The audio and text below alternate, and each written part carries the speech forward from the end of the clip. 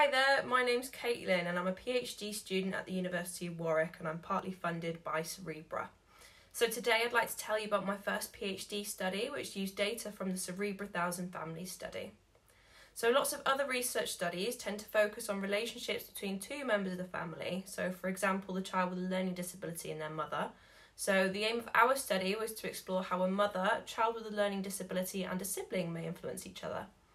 So we used data from wave one of the 1000 family study, which collected information regarding mother's mental health and the behavioural problems of the sibling and the child with a learning disability in 573 families.